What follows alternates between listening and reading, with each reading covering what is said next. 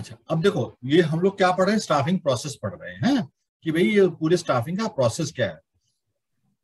इससे पहले जो मैं वो स्टाफिंग इन क्या कहते हैं ह्यूमन रिसोर्स मैनेजमेंट वो वो थोड़ा सा डिफरेंट है, उससे कंफ्यूज मत करना इस स्टाफिंग को। ये स्टाफिंग एक प्रोसेस है, जिसके अंदर की हम जो स्टेप्स इन्वॉल्व हैं तो पहला स्टेप ये था कि estimation estimating man power requirement ठीक है जो मैंने तुम्हें अब क्लियर कर दिया। तुम लोग अब क्लियर हो गया है ना? बिल्कुल फ़र्स्ट क्लास तरीके से। है ना? हाँ एस्टिमेशन है ना ये? एस्टिमेशन तभी तो एस्टिमेट करते हो आप कि आप आप अपने वर्क को एनालाइज करते हो आप बंदों को एनालाइज करते हो जो है आपके पास उसमें डिफरेंस निकालते हो आपका एस्टिमेशन हो जाता है। ठीक है? अब सेकेंड रिक्रूटमेंट अब जब आपने ये अंडरस्टैंड कर लिया कि आपको कितनी मैन पावर चाहिए तो अब आप उसको अब बंदों को रिक्रूट करोगे। रिक्रूटमेंट का मतलब होता है कि भाई मैं मैं चाहता हूँ कि मेरी ऑर्गेनाइजेशन में ज़्यादा से ज़्यादा लोग अप्लाई करें। और वो लोग ज़्यादा, और वही लोग अप्लाई करें जो मेरी क्वालिफिकेशन क्राइटेरिया को मीट करते हैं। मेरे को आलतू फालतू लोगों की ज़रूरत नहीं है। मैंने क्या किया मैंने ऊपर से जो पहला पॉइंट था वहाँ से एस्टिमेट वहाँ से रिक्वायरमेंट निकाल ली। अब मेरे को ये पता चला कि भाई मेरे को तो एक प्रोडक्शन मैनेजर चाहिए एक जनरल मैनेजर परचेज में चाहिए एक मेरे को असिस्टेंट मैनेजर चाहिए इस तरीके से। हमने इनकी आ, क्या कहते हैं क्वालिफिकेशन वगैरह सब फिक्स कर दी है। अब हम चाहते हैं कि इसमें लोग मैक्सिमम लोग अप्लाई करें। ठीक है? तो इससे क्या होगा कि हमारे पास चॉइस वाइडर होगी। मान लो हमने निकाली चार वैकेंसीज मैनेजर के लिए और अप्लाई किया कुल छह लोगों ने। तो चॉइस तो नहीं मिली हमें। समझ गए बेटा? सिर्फ़ चार, छह में से हमें चार यूज़ एज कंपेयर टू मान लो चार वैकेंसी थी और अप्लाई किया पचास लोगों ने। तो हमें हमारे पास वाइड रेंज हो जाएगी ना लोगों को सेलेक्ट करने के लिए। यस और नो समझ गए डिफरेंस क्या क्या क्या, क्या कहना चाह रहा हूँ? हेलो यस सर सिद्धार्थ नहीं सर अच्छे से नहीं आया। हाँ गुड मैं बताता हूँ फिर से। देखो रिक्रूटमेंट का मतलब ये होता है कि आप चाहते हो कि जो आपने वैकेंसीज फाइनलाइज करी कि भाई हमने इतने लोग बाहर से लेने हैं, अब मैं चाहता हूँ कि मैक्सिमम लोग उन उस जॉब के लिए अप्लाई करें। ज़्यादा से ज़्यादा क्वालिफाइड लोग। क्वालिफाइड मतलब जो आपने क्वालिफिकेशन क्राइटेरिया फिक्स कर रखा था ना कि हमें इतने, ये मैनेजर चाहिए, इतने साल का एक्सपीरियंस चाहिए, इसकी क्वालिफिकेशन होनी चाहिए, ये इसका एक्सपीरियंस होना चाहिए, इस तरीके से। करेक्ट सर अब क्योंकि आप चाहते हो कि हम ऑर्गेनाइजेशन को बेस्ट बंदा या मैन पावर चूज़ करें तो वो तभी पॉसिबल होगी जब बहुत ज़्यादा लोग अप्लाई करेंगे और हाईली uh, कॉम्पिटेटिव बनेगा मतलब कि बहुत ज़्यादा क्वालिफाइड लोग अप्लाई करेंगे। ये नहीं कि किसी ने भी अप्लाई कर दिया तो चलो जी वो हो गया। ऐसा नहीं। है ना? अगर आपकी ऑर्गेनाइजेशन में लोग अप्लाई नहीं कर रहे हैं तो it means there is a problem in the organization for example मैं ये एक एक तरीके से सपोज़ करो एक कंपनी ए है। उसमें क्या कहते हैं मार्केट में ये न्यूज़ है कि जी ये तो रखते हैं और तीन महीने बाद निकाल देते हैं। तो कोई इसमें अप्लाई करेगा? नो सर नो सर है ना? नहीं करेगा ना? तो एचआर डिपार्टमेंट का जो सेकंड क्या कहते काम है कि भाई उसको एडवर्टाइज कराए जॉब पोजीशंस को डिफरेंट डिफरेंट जगहों पे जो जो अभी अभी अभी आगे आएँगे ना कि कहाँ कहाँ एडवर्टाइजमेंट वगैरह हो सकता है नॉलेज हम उनको डिटेल में पढ़ेंगे, है ना? तो अभी के लिए समझ लो कि एचआर डिपार्टमेंट जो है, वो चाहता है कि मैक्सिमम लोग अप्लाई करें और जो क्वालिफाई कर रहे हैं सो दैट जो क्या कहते हैं, बंदों का सिलेक्शन हो, वो कॉम्पिटेटिव वे में हो। मतलब अच्छे अच्छे बंदे हमारे साथ जुड़े। तभी तो ऑर्गेनाइजेशन ग्रो करेगी। अगर आपके साथ आपको सिलेक्शन के लिए लोग ही नहीं मिलेंगे और आपको मजबूरी में लोगों को हायर करना पड़ेगा तो तो आप कॉम्प्रोमाइज कर रहे हो ना? है ना? ठीक है it refers to the process of including people uh, including the people to apply for the job in the organization after assessing the number of and type of the employee required the manager tries that more and more people देखो ज्यादा से ज्यादा लोग should apply for the job so that organization can get more choices and select better candidate clear आगे चले yes sir yes चलो अच्छा if if we can fill the requirement from inside हाँ अब क्या होता है कि कभी कभी हम ये देखते हैं कि कहीं कहीं ओवर स्टाफिंग है मतलब कि लोग रिक्वायरमेंट कम है और लोग वहाँ पे ज़्यादा हैं। तो हम क्या करते हैं कि विद इन दी ऑर्गेनाइजेशन उनको ट्रांसफ़र कर देते हैं वहाँ पे। जब हमने एनालिसिस करी थी ना वर्क लोड एनालिसिस करी थी, है ना? उसके बाद हमने वर्क फोर्स एनालिसिस करी। वर्क फोर्स एनालिसिस करने के बाद हम कंक्लूजन पहुँचे कि डिपार्टमेंट ए के अंदर दो क्लर्क्स फालतू हैं। उनके पास उतना काम नहीं है। और डिपार्टमेंट बी में दो बंदे और चाहिए तो हम ए, ए से उठा के उसको इंटरनली वहाँ से कर देते हैं। कभी कभी हम क्या करते हैं कि सपोज़ करो एक असिस्टेंट मैनेजर है परचेज डिपार्टमेंट में। हमें एक परचेज मैनेजर चाहिए उसी डिपार्टमेंट में। हम देखते हैं कि असिस्टेंट मैनेजर ने आ, काम का काम काफ़ी अच्छा है और ये आ, उस क्वालिफिकेशन उस एक्सपीरियंस को को मैच भी कर रहा है तो हम इसको प्रमोट कर देते हैं एज परचेज मैनेजर और एक असिस्टेंट मैनेजर की वैकेंसी निकाल देते हैं। क्योंकि अगर हम मैनेजर हायर करेंगे तो हमें पैसे ज़्यादा देने पड़ेंगे। उसके लिए फिर अलग क्या कहते हैं सारा कुछ होगा सिस्टम अलग। असिस्टेंट मैनेजर की थोड़ा सा डिफरेंस आएगा। कब आपको क्या कहते हैं सैलरी उतनी उस उतने उस लेवल की नहीं देनी पड़ेगी। और वैसे भी इंटरनल प्रमोशन होता है तो ऑर्गेनाइजेशन में लोग फील करते हैं कि हाँ जी हमें जो है आ, क्या कहते हैं हम लोग को हम लोग इम्पोर्टेंट हैं ऑर्गेनाइजेशन के लिए। और अगर हम क्या कहते हैं, मेहनत से काम करेंगे और ऑर्गेनाइजेशन को लगेगा कि हाँ हम लोग डिजर्व करते हैं हायर लेवल तो वो हमारे हमें से प्रमोशन करेंगे, वो बाहर से नहीं लाएँगे। ठीक है? ठीक है? To recruit people from outside the organization contract अब ये जो ये जो, क्या कहते हैं, बाहर से लोग लाने का प्रोसेस है, ये समझ में आ गया ना कि we can transfer promote within the organization कर सकते हैं। ये, और ये बड़ा इकोनॉमिकल है। आपने उठा के बंदे को हाई लेवल पे दे दिया उसको थोड़ा इंक्रीमेंट दे दिया बात खत्म हो गई। उसको ना ट्रेनिंग की देने की ज़रूरत है ज़्यादा क्योंकि वो तो ऑलरेडी ऑर्गेनाइजेशन में है और ये फटाफट हो जाता है। अदरवाइज़ रिक्रूटमेंट का जो प्रोसेस है वो बहुत लेंथी है। अभी हम आएँगे इसके ऊपर है ना? अच्छा अब आपको बाहर से अगर लेने हैं तो आपको किससे कॉन्टेक्ट करना पड़ेगा? वेरियस कंसल्टेंट होते हैं प्लेसमेंट कंसल्टेंट होते हैं। प्लेसमेंट कंसल्टेंट पता है कौन होते हैं? आपने सुना जॉब्स के लिए लगाते हैं। हाँ। हाँ ये एक और क्या कहते हैं ई पोर्टल्स भी हैं जॉब के लिए जॉब्स के लिए है? सबसे बड़ा फ़ेमस है ई पोर्टल कौन सा है? जॉब का? सिद्धार्थ?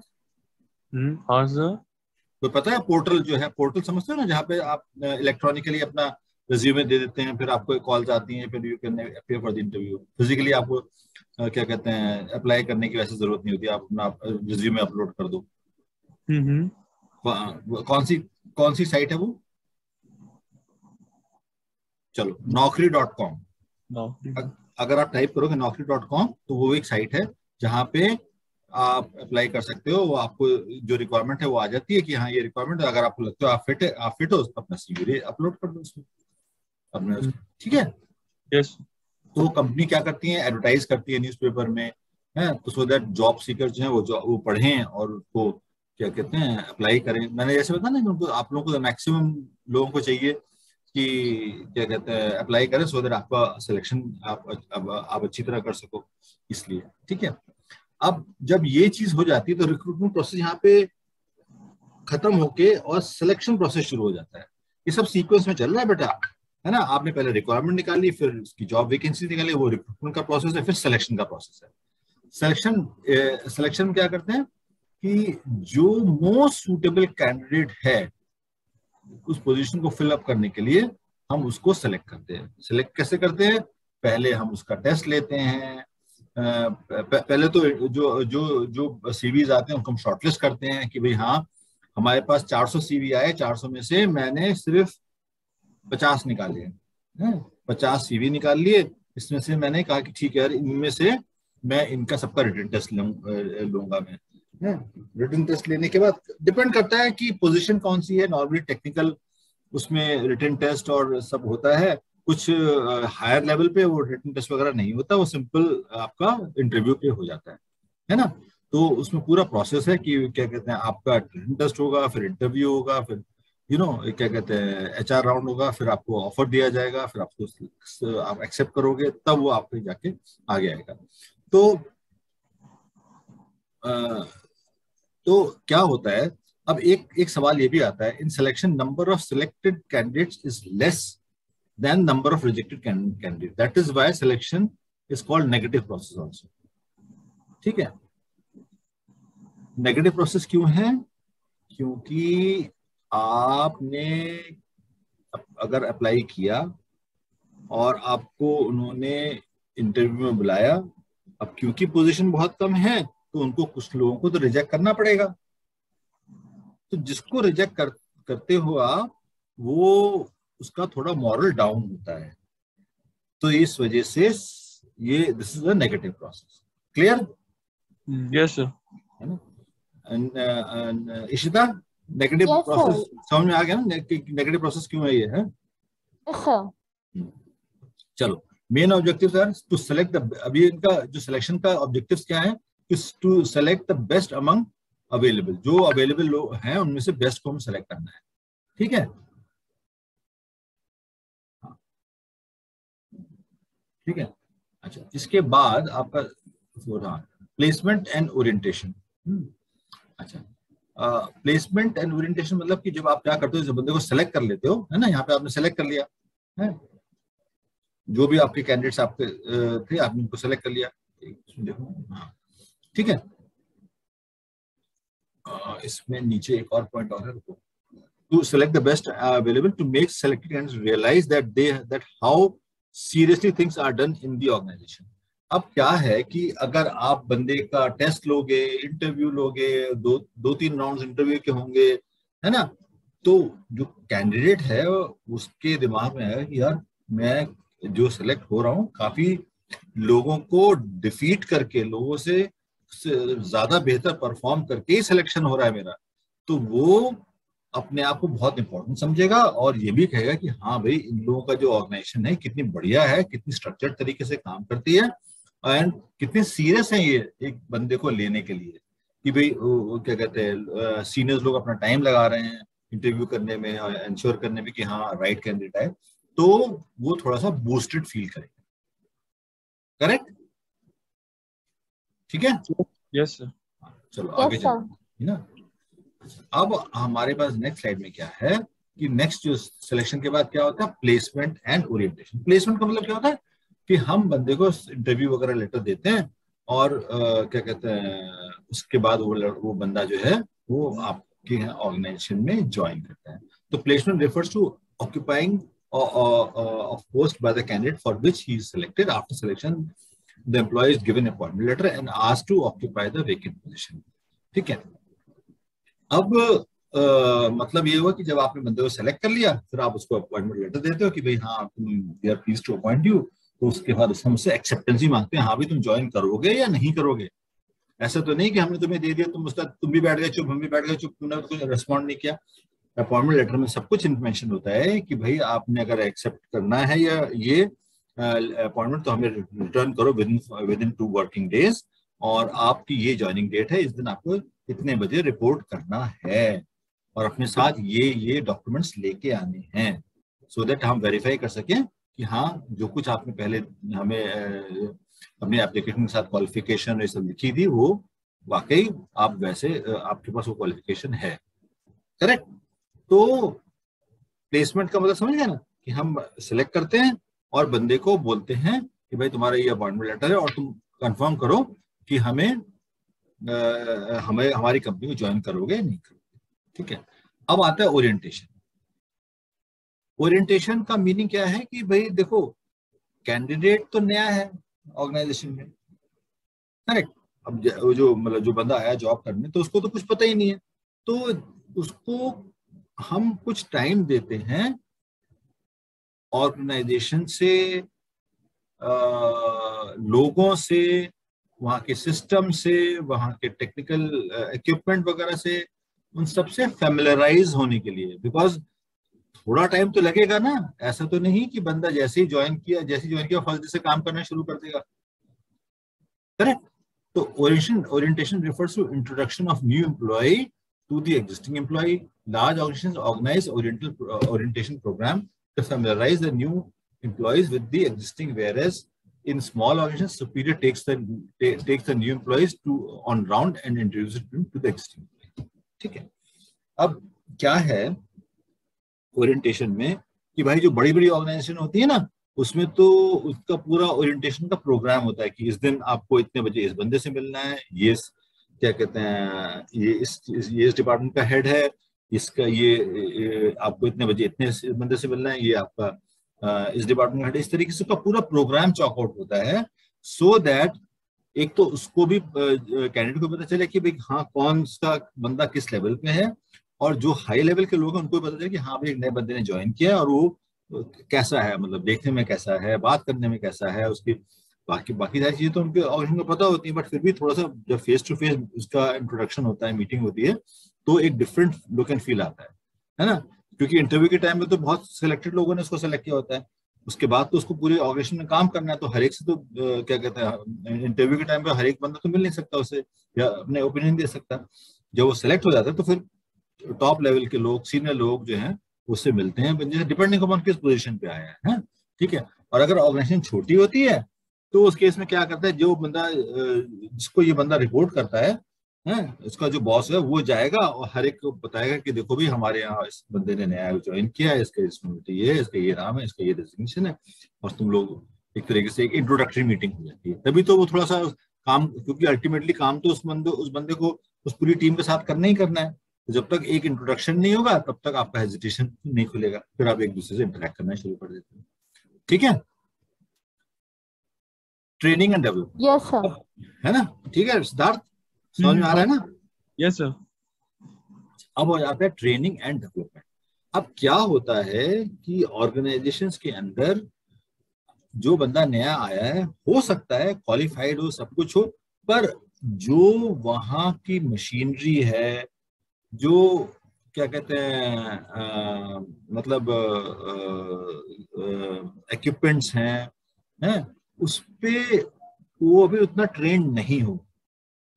वो किसी और मशीन पे ट्रेंड हो सकता है, पर उस ऑर्गेनाइजेशन के अंदर वो उस लेवल की उसको ट्रेनिंग नहीं उसने उस मशीन पे काम नहीं किया है।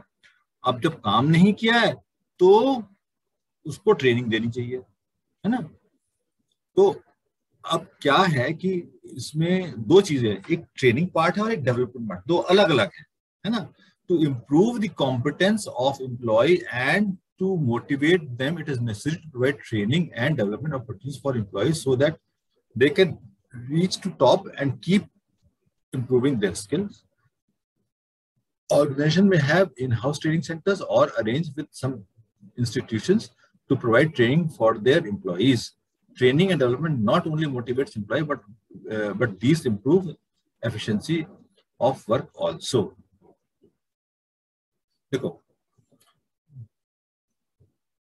जो हमारे एग्जिस्टिंग लोग हैं हैं आ, उनको और प्लस मोर ओवर जो नए आ रहे हैं बंदे उनके लिए भी इस चीज़ है कि अगर आपके यहाँ कोई कोई मतलब ऑलरेडी बंदे काम कर रहे हैं आप कहते हो भाई ऐसा है कि अब आपका एक ट्रेनिंग प्रोग्राम हम रखते हैं सो so दैट आप जो है एक इससे बेटर मशीन पे भी काम कर सको। तो लोग जो एम्प्लॉयज़ हैं उनको तो कहीं हाई तो बहुत अच्छी बात है। हमें नए क्या कहते हैं इक्विपमेंट्स में नई मशीनरी पे ट्रेनिंग मिल रही है। हमारे लिए बहुत काम आएगी। कल को हमें जॉब चेंज करनी हो तो हम ये भी कह सकेंगे कि हमने इस पर भी काम किया है, इस पर भी काम किया है। ठीक है? तो इससे क्या होता है कि लोग की एम्प्लॉयज़ के अंदर मोटिवेशन आता है। है ना? और एक होता है डेवलपमेंट कि ये डेवलपमेंट नॉर्मली हम क्या कहते हैं मैनेजरल लेवल पे यूज़ करते हैं। आगे आएगा ये सारी चीज़ें, क्योंकि चैप्टर में काफ़ी बड़ा है इसमें सब सब डिटेल सब कुछ डिटेल में दे रखा है। तो वो हम उसको और डिटेल में पढ़ेंगे, हैं। ऑर्गेनाइजेशन में हैव इन अच्छा ट्रेनिंग जो है वो कैसे हो सकती है? इन हाउस हो सकती है या एक्सटर्नल बाहर की, बाहर से भी लोग बुला के से फॉर एग्जांपल मैं एग्जांपल बताऊँ आईटी का है कि भाई आपके यहाँ डेवलपर्स हैं सॉफ्टवेयर डेवलपर्स हैं तो उन, वो पर्टिकुलर लैंग्वेज में काम करते हैं। अब मार्केट में एक नई लैंग्वेज और आ गई और ऑर्गेनाइजेशन को उसका प्रोजेक्ट मिला। तो आप क्या करोगे? अपने बंदों को कहोगे, भाई ऐसा है, हम एक ट्रेनिंग ऑर्गेनाइज कर रहे हैं। तो उसमें आप क्या करोगे कि आप एक बाहर से एक्सटर्नल कंसल्टेंट बुलाओगे, एक ट्रेनिंग सेशन होंगे उनके, कई सारे जब तक वो थोड़ा सा मतलब उनके डिपेंड करता है कि कितने दिन, हफ़्ते, दस दिन, पंद्रह दिन में वो लोग ट्रेन हो जाएँगे उस लैंग्वेज के ऊपर। तो आपका, क्या कहते हैं, वो मतलब they will be they will productive तो ये तो आपने क्या किया कि एक्सटर्नल बंदे को बुला के ट्रेनिंग करवा दी जो कि किसी इंस्टीट्यूट से आया हो सकता है। ये आपने कहा कि भाई हाँ हमारे बंदों को ट्रेनिंग देनी है तो आपने ट्रेनिंग इंस्टीट्यूट से कांटेक्ट किया, उनके बंदे आए और ट्रेन के चले दूसरा होता है इन हाउस ट्रेनिंग की क्या कहते हैं, आप क्या करते हो कि जो ऑलरेडी एक बंदा सीनियर बंदा है, वो काम कर रहा है ऑलरेडी तो हम उसको कहते हैं, भाई ऐसा करो, अब अपने अंडर ये पाँच बंदे जो हैं, इनको और ट्रेनिंग दे दो। तो वो इन हाउस ट्रेनिंग हो जाती है। ठीक है? Training and development not only motivates employee but also also improve efficiency of work also क्या होता है जैसे जैसे आपकी ट्रेनिंग बढ़ती जाती है आप काम और अच्छी तरह कर पाते हो है ना ठीक है by offering opportunity for career देखो ना by offering career by offering the opportunity for career in most of the large scale uh, large large scale organization there is a separate human resource which performs staffing function but uh, small the language all functions. So small organization हाँ। ये जो सो small organisation मैंने अभी आपको बताया था ना कि uh, जो एचआर डिपार्टमेंट है वो बड़ी ऑर्गेनाइजेशन में होता है। और छोटी ऑर्गेनाइजेशन में स्टाफ फ़ंक्शन होता है जो कि खुद ही वो कर लेते हैं। लाइन मैनेजर होते हैं जो कि अभी क्या कहते हैं स्टाफ को को खुद ही रिक्रूट कर लेते हैं। So there is no human resource department including foreign is also staffing function so small organization in which there is no human resource department includes following step also in the staffing process performance appraisal promotion and career and composition अब जैसे मैंने पहले बताया था ना कि small organisations में जैसे मैंने एग्जांपल दिया था कि एक फादर है, उसके तीन बेटे हैं और तीनों ने को अपना ही उन्होंने अपना, क्या कहते हैं सिलेक्शन प्रोसेस चालू कर रखा था। तो वो जो काम कर रहे हैं, वो एचआर डिपार्टमेंट का काम कर रहे हैं। वो क्या कर रहे हैं? सिलेक्शन भी कर रहे हैं, उनको जॉब के अंदर ट्रेनिंग भी दे रहे हैं और उनका परफॉर्मेंस अप्रेजल भी कर रहे हैं, उनकी कैरियर प्लानिंग भी कर रहे हैं, उनको कॉम्पनसेशन भी दे रहे हैं। ये सारे काम जो है, वो लोग कर रहे हैं। जो आपके लाइन मैनेजर्स हैं। वेर एज ये सारे काम बड़ी ऑर्गेनाइजेशन में एक एचआर डिपार्टमेंट करता है। ठीक है? जो कॉम्पनसेशन है, अब देखो, इसके अंदर बड़ी इंपॉर्टेंट बात है कि अब आप किसी को पैसे, उसकी सैलरी बढ़ाते हो तो कैसे कर सकते हो? It refers to to price of the job it it includes pays rewards and other incentive given to employees it includes direct as well as indirect payments देखो कॉम्पनसेशन मैंने बताया था ना आपको कि सैलरी तो होती ही है, पर साथ में और जो चीज़ जुड़ी होती है, उसको पूरा मिला के कॉम्पनसेशन बोलते हैं। Right direct payment such as wages salary etcetera indirect payment such medical facility insurance etcetera the manager must fix the right compensation on the base of qualification type तो जो मैनेजर की रिस्पॉन्सिबिलिटी होती है, वो he has to ensure कि वो right बंदे को राइट काइंड ऑफ़ सैलरी दे। उसको देखेगा उसको भाई प्रीवियस ऑर्गेनाइजेशन में कितने पैसे मिलते थे और अब उसको आप चाहते हो कि वो ज्वाइन करे तो आपको उसको हाइक तो देना ही पड़ेगा। हाइक मतलब समझते हो? इंक्रीज तो देना ही पड़ेगा।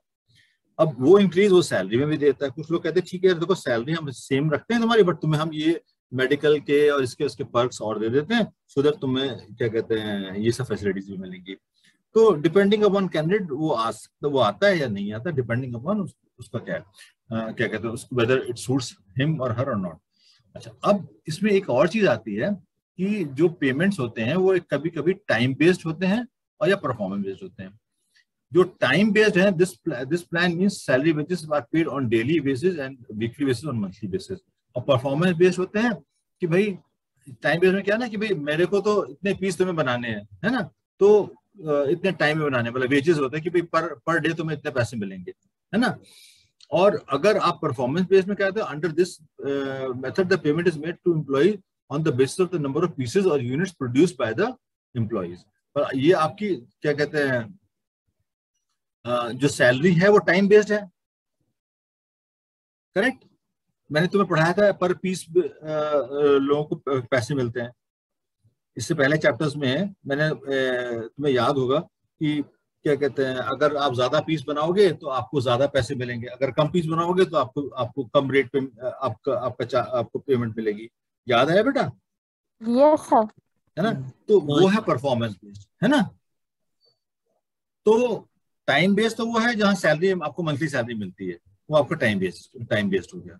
जो आपका परफॉर्मेंस बेस्ड क्या है कि जो आपको पर पीस के हिसाब से, पर यूनिट के हिसाब से प्रोड्यूस उस हिसाब से पैसे मिलेंगे।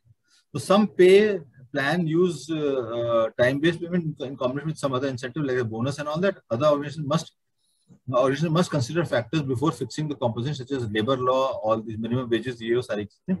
मतलब ये हुआ कि ऑर्गेनाइजेशन जो है वो फिक्स करती है कि आपका, आपको टाइम बेस्ड देना है या क्या कहते हैं परफॉर्मेंस बेस्ड रखना है। जो टाइम जो परफॉर्मेंस बेस्ड होता है ना, वो जनरली फैक्ट्रीज में होता है, जहाँ पे यूनिट प्रोड्यूस हो रही है। पर जो आपके टाइम बेस्ड है, वो आपका सीनियर लेवल पे और मैनेजर लेवल पे इवन नीचे लेवल पे भी होता है कि भाई ठीक है यार, बंदे को तो एक काम करवाना है तो हम उसको मंथली सैलरी देंगे प्लस इंसेंटिव देंगे, जो जो भी है है ना? तो ऑर्गेनाइजेशन कहता है कि भाई, कहते हैं ऑर्गेनाइजेशन को इंश्योर करना है कि भाई जो लॉज हैं वो भी उसमें पूरे होने चाहिए। अब ऐसा नहीं कर सकते जैसे सरकार ने फिक्स कर रखा है कि भाई मिनिमम इतनी सैलरी तो आप दोगे ही दोगे किसी बंदे को है ना? तो क्या कहते हैं आप ये नहीं कर सकते कि उसको आप कम पैसे दो है ना? मिनिमम वेजेस जो होते हैं वो आपको पे करने ही पड़ेंगे। और क्या कहते हैं जो आपके कॉम्पिटिटर की पॉलिसी है उसको भी ध्यान रखना। कोई कॉम्पिटिटर कहता है कि भाई मैं तो जो आपको कॉम्पिटिटर मैं उस, उस जब वहाँ पे सपोज़ करो ज़्यादा पैसे मिलते हो तो जैसे ही इस बंदे को पता चले कि जहाँ जो काम मैं यहाँ करता हूँ उस मेरे को तो यहाँ कम मिल रहे हैं सेम काम मेरे को वहाँ करना पड़ेगा मेरे को वहाँ ज़्यादा पैसे मिलेंगे तो मैं वहाँ शिफ्ट हो जाता हूँ। तो आपको कॉम्पिटिटर की पॉलिसी का भी ध्यान रखना पड़ेगा कि भाई वहाँ पे मार्केट मार्केट में रेट क्या चल रहा है। हम लोग कहते हैं ना मार्केट में रेट ये चल रहा है है ना? तो उसके हिसाब से उसको देते हैं।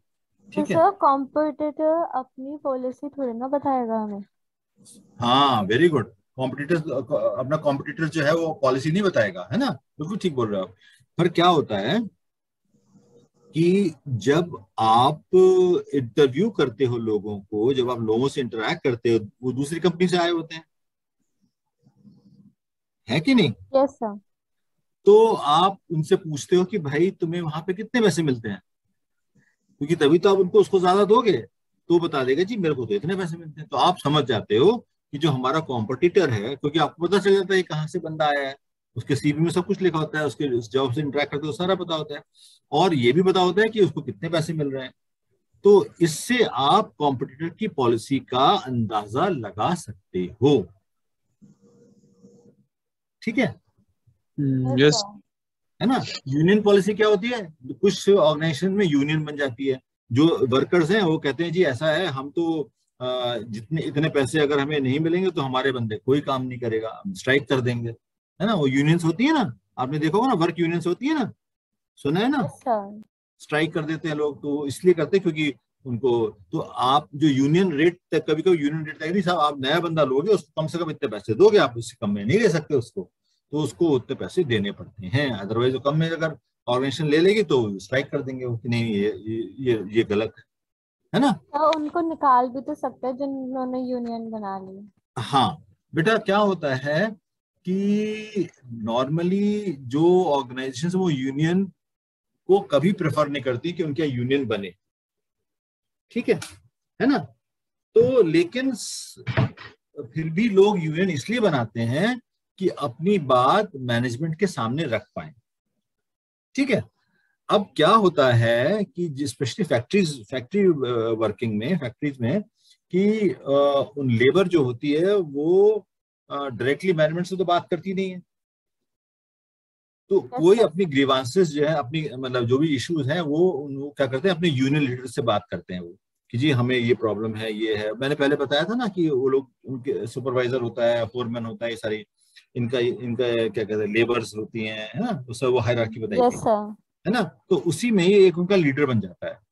और वो ये कहता है कि भाई आ, क्या कहते हैं अपनी मीटिंग करता है और कहता है नहीं नहीं हम लोग सबको तो बहुत कम पैसे मिल रहे हैं तो हम मैं मैनेजमेंट से बात करता हूँ कि तुम हम सबकी इंक्रीमेंट जो है वो इतने इतनी होनी चाहिए इतने इतने पैसे बढ़ने चाहिए।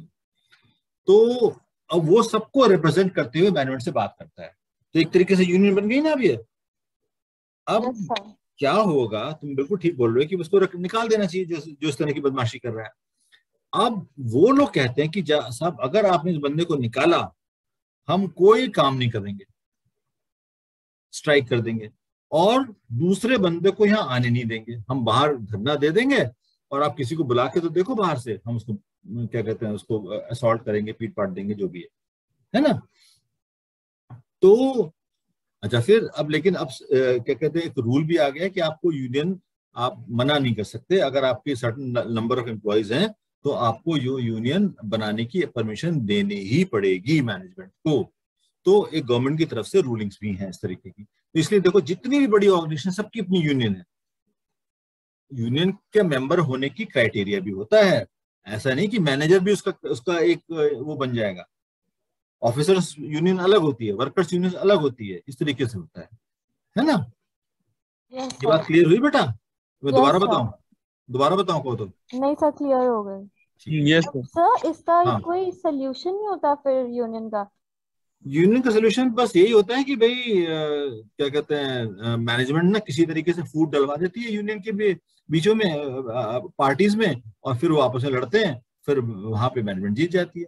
बट अदरवाइज़ बहुत मोस्ट ऑफ़ द केसेस में यूनियन की बात माननी पड़ती है ऑर्गेनाइजेशन को।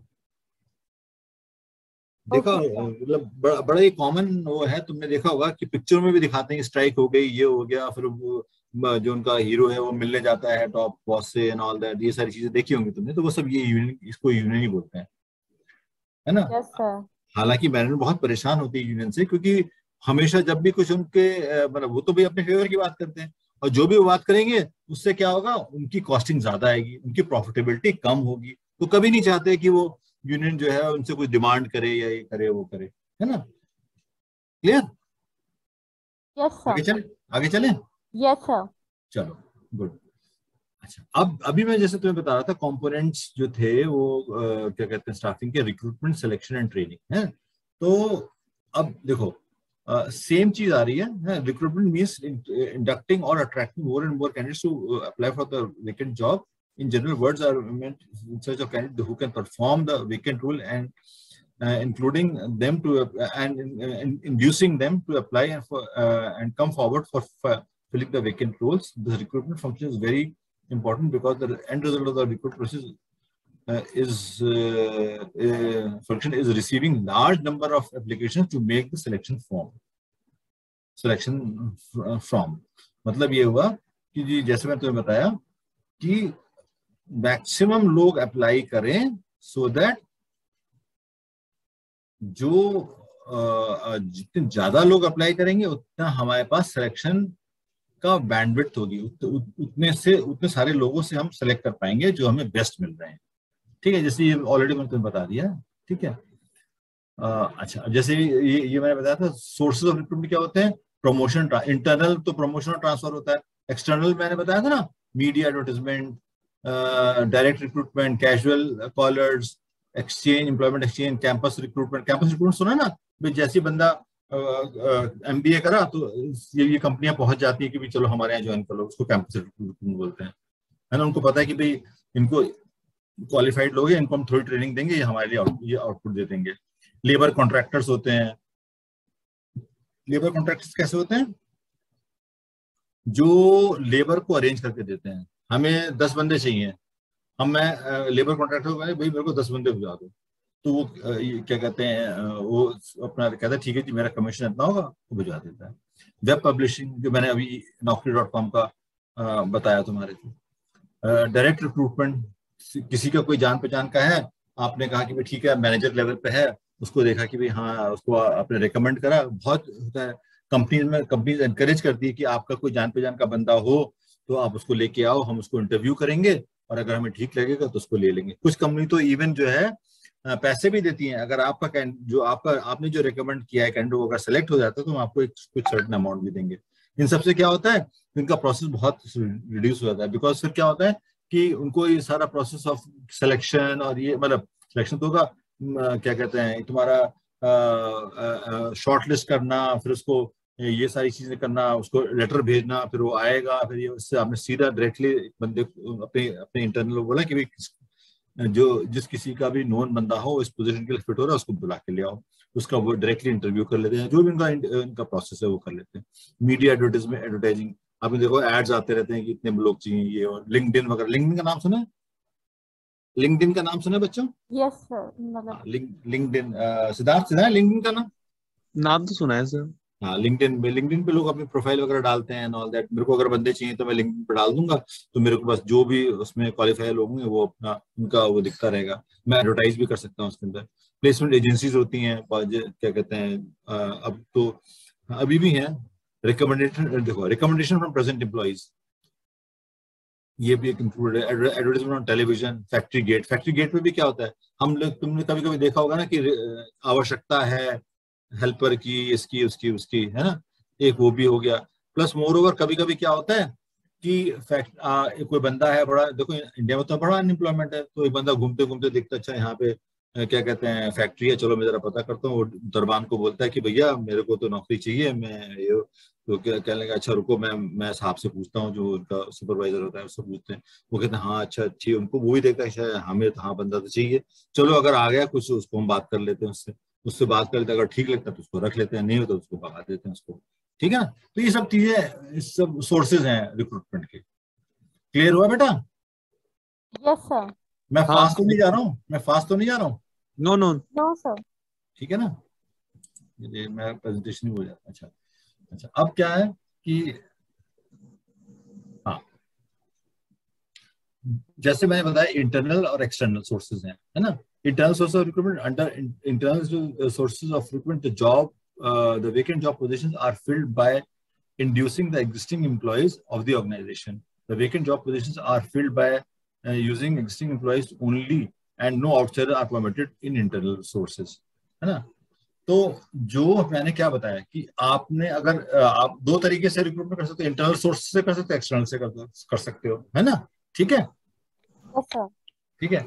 तो अब जो आप अगर इंटरनल से कर रहे हो तो आपके जो भी एग्जिस्टिंग एम्प्लॉय उसमें से ही आपको सिलेक्ट करना है है ना? करेक्ट तो internal sources of recruitment is very popular and common because of its advantages क्या एडवांटेज है? ये तुम लोग पढ़ो। पढ़ो ये क्या क्या एडवांटेज है? सिद्धार्थ हाँ हाँ यस सर हाँ पढ़ो क्या लिखा है? इंपॉर्टेंस क्या है? इसमें और इसमें कौन सा पॉइंट नहीं समझ में आता? है इशिता आप भी पढ़ो और बताओ मेरे को कौन सा पॉइंट समझ में नहीं आ रहा। फिर मैं पूछूँगा। हाँ। एक बार इंटरनल सोर्सेज के एग्जांपल्स बताना। सॉरी एक बार इंटरनल सोर्सेज के एग्जांपल्स रिपीट कर एग्जांपल में बताता हूँ। देखो ऐसा होता है ना जो हमारे एग्जिस्टिंग एम्प्लॉयज़ हैं है ना? उनमें से हम उनको प्रमोट कर देते हैं। एक वैकेंसी है एक असिस्टेंट मैंने बताया था ये एग्ज़ाम एक असिस्टेंट मैनेजर है असिस्टेंट मैनेजर है परचेज का। अब उन्होंने देखा कि भाई ये जो असिस्टेंट मैनेजर है ये काफ़ी अच्छा काम कर रहा है। ये ज़्यादा रिस्पॉन्सिबिलिटी लेने के लिए रेडी है। ठीक है? तो मैनेजमेंट के सामने ऑप्शन ये है कि या तो वो बाहर से बंदा ले आए, है?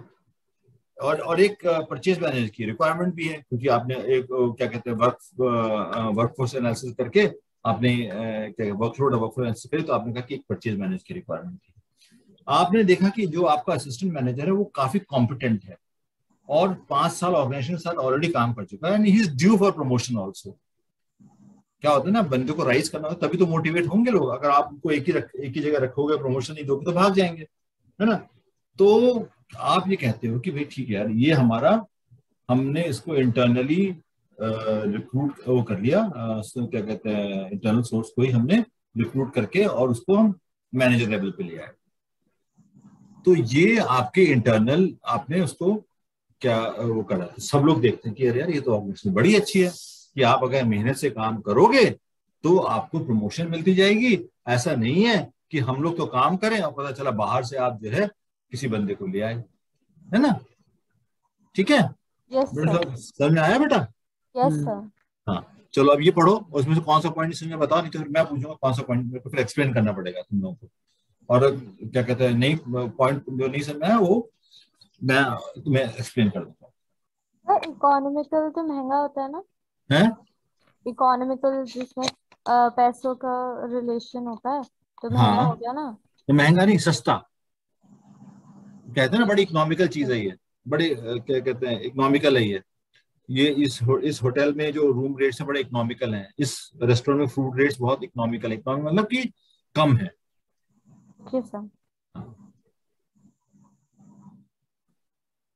पॉकेट फ्रेंडली बोलते हैं। कि हमारे पॉकेट को सूट करते हैं ये। सिद्धार्थ बताओ। सारे सारे समझ में आया? नहीं तो क्या कहते हैं? जो नहीं समझ आया पूछो मेरे से नहीं तो फिर मैं बताऊँगा तुम्हें। मैं मैं पूछूँगा। अच्छा ये सिक्स पॉइंट है ना सर हाँ वो नहीं आया। ओके। अ, ये जो जॉब रोटेशन क्या होता है? हाँ। आ, देखो हाँ एक एक करके। आप, इशिता बेटा आप बताओ।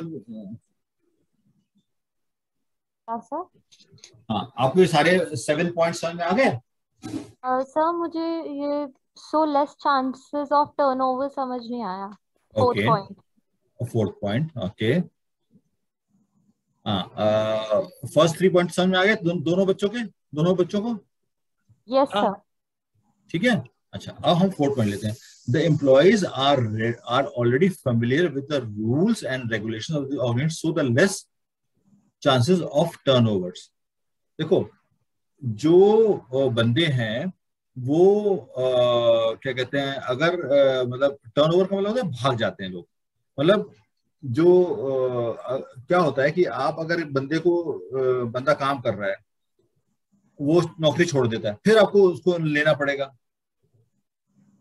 नया बंदा बाहर से लेना पड़ेगा। तो अगर आपने उसको इंटरनल प्रमोशन दे दिया तो अब वो ऑर्गेनाइजेशन में ज़्यादा दिन काम करेगा नहीं करेगा? हाँ यस सर तो टर्नओवर टर्नओवर कम हो गया। टर्नओवर एम्प्लॉयज़ का कंपनी का नहीं। हाँ हाँ यस सर इशिता बेटा एक बात सोचो। देखो मैं एक जगह काम कर रहा हूँ। मैं असिस्टेंट मैनेजर हूँ। और पाँच साल से मैं असिस्टेंट मैनेजर का एक जॉब कर रहा हूँ। भैया मैं फ्रस्ट्रेशन लेवल मेरा बढ़ गया बिकॉज़ कंपनी को प्रमोशन नहीं दे रही है हैं? तो मैं तो भैया छोड़ दूँगा कंपनी को जहाँ मेरे को चांस मिलेगा चला जाऊँगा। लेकिन कंपनी ने इंटरनली मेरे को प्रमोट करके मैनेजर बना दिया। तो अब मैं छोड़ूँगा कंपनी नो सर तो फिर हमारा तो टर्नओवर कम हो गया ना? एम्प्लॉय एम्प्लॉय टर्नओवर टर्नओवर का क्या मतलब है? टर्नओवर मतलब कि आना जाना। एम्प्लॉय का आन छोड़ना फिर नया ले लेना फिर छोड़ना फिर नया लेना टर्नओवर हो जाता है ना? अच्छा ओके सर ठीक है ना? Less chances of turnover okay sir है ना? Less chances of leaving the company ये भी कह सकती हो. So less chances of leaving the company by employee ये भी कर सकती हो. टर्नओवर की जगह leaving the job by the existing employee ऐसे समझ लो. Okay sir so less chances of turnovers है ना? ठीक है? ना अच्छा आ, हाँ अब आ, क्या कहते हैं कौन सा समझाना था तुम्हें बेटा? Fourth improve performance of employee to get promotion show better performance अच्छा through transfer employees get training also in the form of job rotation अच्छा अब ये चीज़ देखो जॉब रोटेशन का मतलब क्या होता है? कि आज आप ये काम कर रहे हो फिर आप थोड़े टाइम में आप क्या कहते हैं जो आपका दूसरा बंदा काम कर रहा था आप वो काम कर लो। और जो वो वाला बंदा था वो आपको वाला काम करता रोटेट हो गया ना? हाँ यस सर है ना? तो दोनों बंदों को दोनों तरीके का काम आ जाएगा। हाँ। ओके। तो क्योंकि जो नया बंदा इसने अभी जो अभी इंटरनल बंदा ये एक एक ए काम कर रहा था वो अब उसको बी काम की, की ट्रेनिंग देके आप उसको बी काम के लिए ट्रांसफ़र आपने ट्रांसफ़र कर दिया। तो आपने उसको क्या किया कि जैसे आपने उसको बी काम दिया तो उसके अंदर वो ट्रेनिंग लेगा और वो वाला काम करेगा। और जो बी जो काम बी कर रहा था वो एक ही ट्रेनिंग लेगा और एक ही ए, वाला काम कर लेगा। ठीक है? तो through transfer employees get through transfer अब आपने ट्रांसफ़र कर दिया employee gets gets training also in the form of job rotation मतलब कि जॉब रोटेट हो गई उसको ट्रेनिंग भी मिल गई इसकी। है ना? हाँ यस सर अच्छा ट्रांसफ़र में क्या होता है, उसका सब कुछ सेम होता है। पर्क्स वर्क्स, ये वो जितनी उसकी सैलरी मिलती, सब सेम हो रही होती है। सिर्फ़ लोकेशन और या हो सकता है जॉब का, उसका वो वो चेंज हो जाए। बट प्रमोशन में क्या होता है? प्रमोशन में बंदे को एक उसका डेजिग्नेशन चेंज हो जाता है और उसकी सैलरी बढ़ जाती है। ट्रांसफ़र में ज़रूरी नहीं है ऐसा हो, ऐसा होता नहीं है। ट्रांसफ़र का ए से बी में गया मतलब क्या हुआ? जैसे एक ब्रांच में था बंदा वो ए में था ए, ब्रांच ए में था वो ब्रांच बी में चला गया ट्रांसफ़र हो गया उसका वो, वो क्या कहते हैं क्या काम उसका क्लैरिकल लेवल ही है पर पहले मान लो वो क्या कहते हैं परचेज में क्लैरिकल पोस्ट पे था अब वो फाइनेंस में क्लैरिकल लेवल पे आ गया। तो जॉब रोटेशन भी हो गई है ना? यस सर ठीक है? है ना? हाँ हाँ। क्लियर हुआ? अच्छा। Yes, हाँ? अच्छा अब ये क्या कहते हैं? आ, आ, बेटा आप कौन सा पॉइंट कह रहे थे?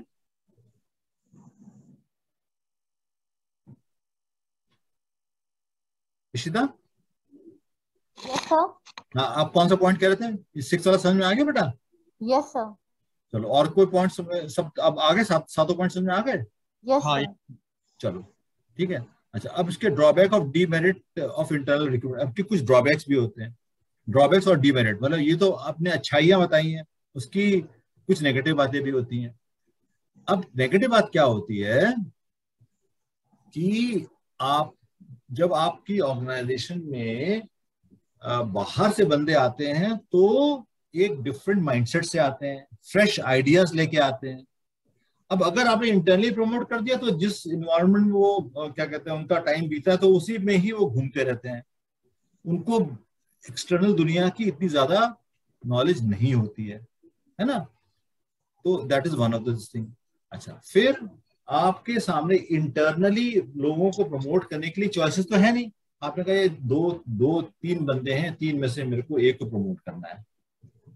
वैकेंसी एक ऊपर की है, तीन असिस्टेंट मैनेजर हैं, तीनों में से जो बेस्ट होगा, मैं तो आपके पास चॉइस कितनी हो गई?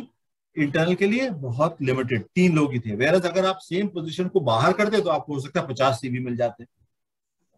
यस और नो यस ठीक है? Not not suitable for new organisation जो नई ऑर्गेनाइजेशन है उसमें तो ये ये चीज़ एप्लीकेबल ही नहीं होती। क्यों? क्योंकि आप क्या कर रहे हो कि भाई क्या कहते हैं वहाँ तो अभी नई नई ऑर्गेनाइजेशन है तो लोग अभी तो आएँगे वहाँ पे एक्सपीरियंस होंगे तभी तो आप उनको आ, क्या कहते हैं ट्रांसफ़र करोगे या उनको प्रमोट करोगे। तो सुटेबल नई ऑर्गेनाइजेशन के लिए तो क्या कहते हैं, ये एप्लीकेबल भी नहीं है।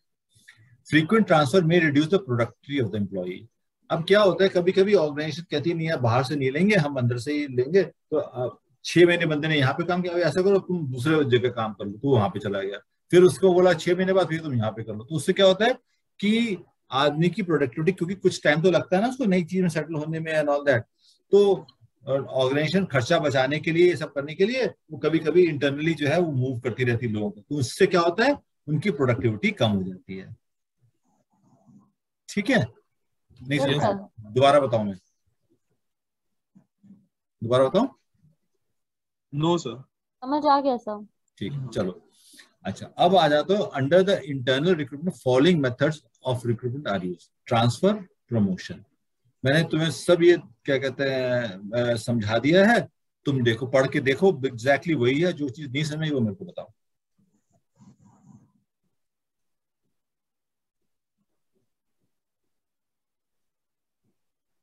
मैंने अभी तुम लोगों को ट्रांसफ़र प्रमोशन का डिफरेंस हिंट किया था। सर ये हाँ बोलो। प्रेस्टाइज का क्या मतलब होता है? सॉरी प्रेस्टाइज प्रेस्टीज प्रेस्टीज हाँ।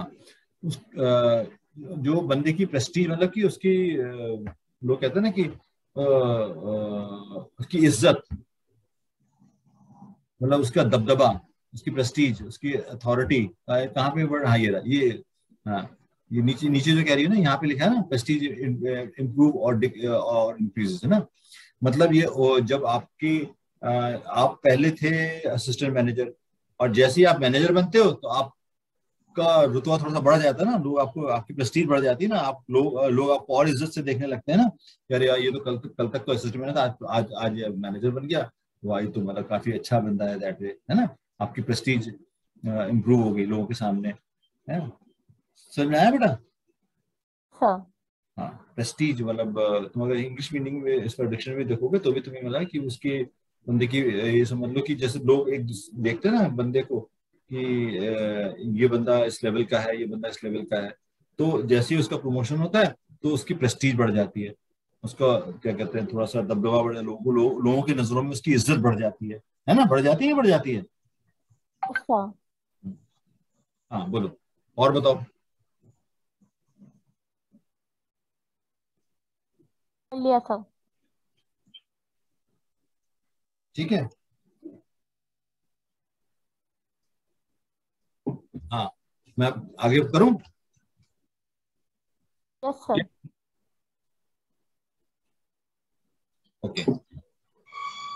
तो अब ट्रांसफ़र प्रमोशन में अगर डिफरेंस आएगा तो लिख लोगे ना? यस सर अच्छा।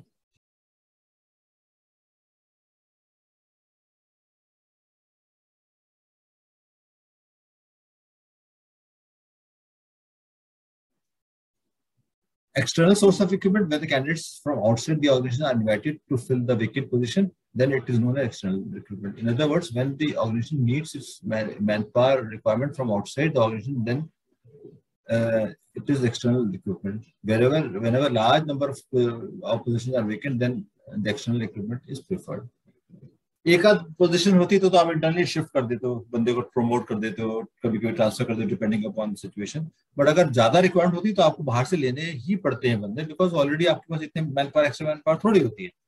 है ना? यस सर ठीक है ना? अब इसके पाँच एडवांटेजेस हैं। बहुत सिंपल है इसमें क्या कहते हैं जो नहीं समझ में आ रहा वो बताओ और फिर नहीं तो फिर इसके बाद मैं पूछता हूँ तुम तो ये थर्ड पॉइंट है क्वालिफाइड पर्सनल हाँ।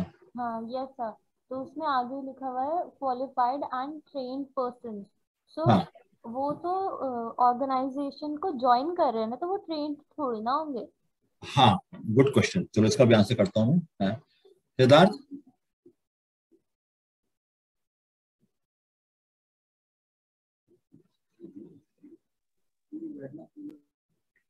सिद्धार्थ? हाँ यस सर। इसमें थर्ड पॉइंट समझ में आया तुम्हें? हाँ हाँ। हाँ बताओ। को बताओ। सो so, बाय जो एक्सटर्नल रिक्रूटमेंट क्या कहते हैं रिक्रूटमेंट होता है उसमें मतलब uh, जो मैनेजमेंट है वो qualified get qualified and training position एक मिनट सर हम्म। हाँ सॉरी सर सो जो क्या कहते हैं इशिता कह रही है, वो वो ऐसा है कि मतलब जैसे अगर कोई एम्प्लॉय है, ठीक है, और उसको उसने किसी कंपनी में क्या कहते हैं, अलग अलग ऐसा मशीनरी में काम कर रखा है तो वो क्या कहते हैं इस ऑर्गेनाइजेशन में आके वो अलग मशीन में काम करेगा तो वो उसका ट्रेनिंग होता है। हेलो हाँ हाँ ठीक है ठीक है तो उसका तो उसका तो ट्रेनिंग होगा। लेकिन हाँ. यहाँ पे क्या बोल रहा है एडवांटेज बोल रहा है ना वो कि क्वालिफाइड कि उसको by using external recruitment the management can can get qualified and trained person हाँ बताओ तो क्योंकि वो क्या कहते हैं क्वालिफाइड पर्सन है ना तो बाय जो एक्सटर्नल रिक्रूटमेंट है ना तो उसको क्या कहते हैं जो एम्प्लॉयज़ मिलेंगे वो पहले से ट्रेंड और क्वालिफाइड मिलेंगे क्या कहते हैं उसके क्या कहते हैं उसके और जो भी उसका ऑर्गेनाइजेशन है जो भी उसका क्या कहते हैं एज अ जो भी मतलब जो भी उसकी मशीनरी है या फिर जिस तरीके से उसका ऑर्गेनाइजेशन वर्क करता है उस हिसाब से वो एम्प्लॉय पहले से ही क्वालिफाइड और ट्रेंड होगा। ओके बट इशिता का तो सवाल कुछ अलग था कि जी हम तो ट्रेनिंग देते हैं। जो क्या कहते हैं और क्योंकि वो जो एक्सटर्नल रिक्रूटमेंट्स है वो अलग क्या कहते हैं ऑर्गेनाइजेशन से आ रखे तो उनको उन्होंने वहाँ वर्क कर रखा है। और हाँ, क्या कहते हैं। हाँ, और हाँ, उन्होंने वहाँ पे भी क्या कहते हैं उसी में मतलब हाँ गुड हाँ। उसी लेवल हाँ। उन्होंने वहाँ पे भी उसी लेवल पे वर्क करा तो और उनके पास ऐसा क्या कहते हैं एक्सपीरियंस और ऐसा क्या कहते हैं वो भी है। उन्होंने और उन्होंने जब उन्होंने वहाँ पे वो लिया होगा एज अ क्या कहते हैं उनका वहाँ सिलेक्शन हुआ तो होगा तो उनका वहाँ पे भी ट्रेनिंग और क्या कहते हैं हुआ ही होगा ट्रेन हम्म। होंगे। हाँ, तो, हाँ, हाँ. थोड़ा सा फ़र्क है। हो लेकिन थोड़ा फ़र्क है। इशिता आप भी बड़ा ठीक बोल रहे हो कि भाई जब हम लोग को हमने जब नया बंदा लेते उसको ट्रेनिंग देते ही देते हैं तो फिर यहाँ पे उन्होंने क्यों लिखा है? बेटा कभी कभी क्या होता है कि मैंने जो मशीनरी खरीदी सेम मशीनरी मेरे कॉम्पिटिटर के पास थी। ठीक है? अब उस हाँ। मेरे कॉम्पिटिटर की, की कंपनी में जो काम कर रहा है उसका एक बंदे ने अप्लाई किया। तो मैं देखूँगा कि यार ये क्वालिफाइड भी है और ट्रेंड भी है। इसको तो मेरे को क्योंकि मशीनरी हम भी यूज़ सेम यूज़ करते हैं वो भी यूज़ करते हैं। तो इस वजह से उसको हमें एडिशनल ट्रेनिंग की ज़रूरत ज़रूरत नहीं पड़ेगी नहीं पड़ेगी है ना? आपको क्लियर हुआ बेटा ये ये ये पॉइंट यस सर है ना? यस सर हाँ सिद्धार्थ अब तुम्हें क्लियर हुआ? हेलो हाँ क्लियर हुआ ये पॉइंट जो मैं कहना जो मैं कहना चाह रहा हूँ? हाँ हाँ यस सर जो बंदा अगर एक ऐसा बंदा मिल जाए मेरे को कि जो मेरे यहाँ इक्विपमेंट है उसमें ऑलरेडी ट्रेंड हो तो मैं उसको क्या कहते हैं ज़्यादा प्रेफर करूँगा। हाँ हाँ। अब जैसे फॉर एग्ज़ाम्पल मेरे को Boeing seven four seven pilots क्या कहते हैं चाहिए। है मैं एक मेरी एयरलाइंस है मेरे पास Boeing seven four Boeing seven four seven एक तरीके का एयरक्राफ्ट है। है कि हाँ, नहीं है। हाँ। सुना है ना ना? सुना है ना? हाँ। अब क्या कहते हैं मैं ये देखता हूँ कि यार क्या कहते हैं स्पाइस जेट में उनके already Boeing seven four seven है। तो हाँ। कोई पायलट अगर वहाँ का मेरे यहाँ अप्लाई करेगा तो मैं कहूँगा हाँ भाई तुम आ जाओ मेरे को तो। क्या कहते हैं बाकी सब बोइंग सेवन थ्री सेवन के मिल रहे थे। और तुम एक एक कैंडिडेट है जो Boeing Boeing seven four seven का है तो मैं तुम्हें प्रेफर करूँगा। बाकी सारी चीज़ें तुम सेटिस्फाई कर रहे हो तो मेरे लिए वो वो ज़्यादा आसान होगा। क्योंकि अगर मैं बोइंग सेवन थ्री सेवन वाला कैंडिडेट चूज़ करूँगा तो मेरे को उसको ट्रेनिंग देनी पड़ेगी सेवन फोर सेवन के लिए। यस और नो है ना? Yes, yes, no. अब तुम समझ गए ना बेटा क्या मैं कहना चाह रहा हूँ? है ना? हाँ. तो इसीलिए लिखा है by using external recruitment event can लिखा है कैन पॉसिबिलिटी है। हंड्रेड परसेंट ट्रू नहीं है। ऐसा नहीं हो सकता ना कि हंड्रेड हमेशा ही उसको बाहर का बंदा जो मिले जो उसके इक्विपमेंट है उसी पे काम करता हो। है ना? हम्म, ठीक है चलो। और और बता फोर और फाइव क्लियर है? हाँ हाँ। यस सर स्पिरिट बोल रहा है this develops competitive spirit in the existing employees जो ऑर्गेनाइजेशन में ऑलरेडी हैं उनके बीच में कॉम्पिटेटिव स्पिरिट हो जाती है। वो जो बाहर से तो बंदा है वो तो ठीक है तुम्हारी बात सही है कि वो खूब अच्छा परफॉर्म करने की कोशिश करेगा। बट ये कह रहा है कि through external recruitment when outsider joins the organisation this develops a competitive spirit in existing employees of the organisation